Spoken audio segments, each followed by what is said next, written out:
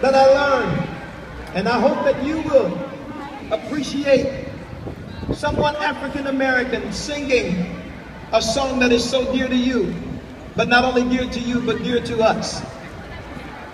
Oh, oh,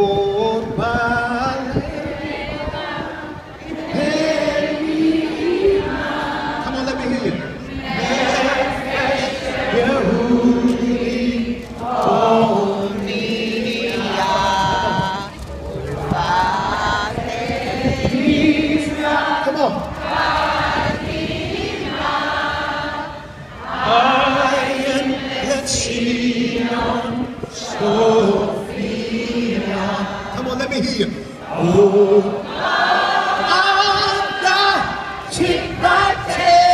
you.